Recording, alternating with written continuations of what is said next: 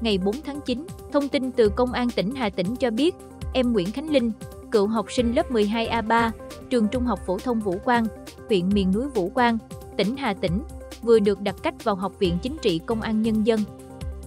Em Nguyễn Khánh Linh là học trò trường huyện duy nhất của tỉnh Hà Tĩnh đạt giải nhất kỳ thi học sinh giỏi quốc gia môn địa lý năm học 2022 đến 2023.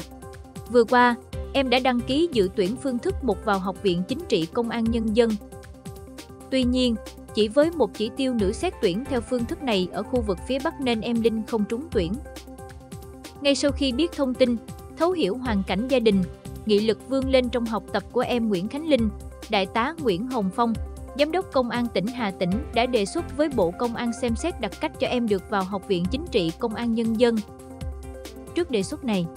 Đại tướng Tô Lâm, Bộ trưởng Bộ Công an đã đồng ý bổ sung chỉ tiêu xét tuyển thẳng theo phương thức một đào tạo đại học chính quy, tại Học viện Chính trị Công an Nhân dân, năm học 2023 đến 2024 đối với em Nguyễn Khánh Linh.